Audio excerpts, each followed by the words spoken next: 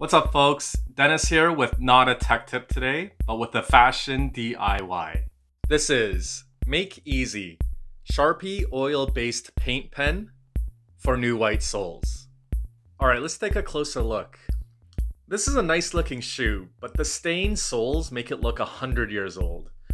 Uh, these soles are made out of a spongy material, so these stains have been absorbed, and no cleaning concoction will get this out. So what I'm going to do is try to use this white Sharpie oil-based marker to cover it all up. And I put a link to the pen in the comment section below. So before I start, I am a little bit apprehensive that this might not work. Uh, part of me feels like after the application, it's just gonna look like white paint on a sole. But I am hopeful that once the application dries, that it could look like a brand new white sole.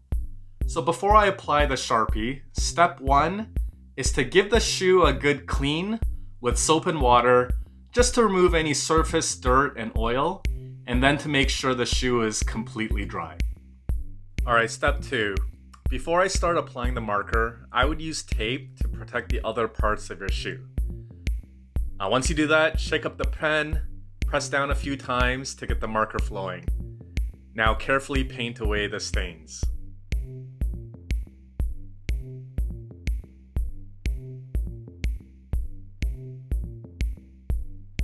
Alright, let me do the other side of this shoe, and then I'll let them dry for a couple hours, and then we'll compare.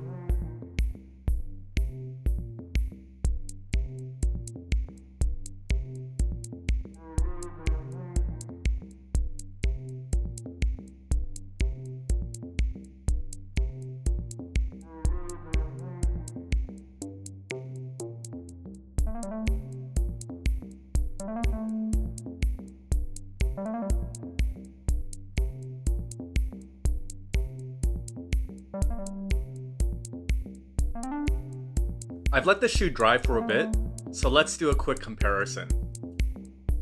The left one is the one I sharpied. It came out way better than I expected. I was worried that it would look painted over, but the white looks native to the shoe. The left shoe looks so fresh, and the right shoe looks so dingy now.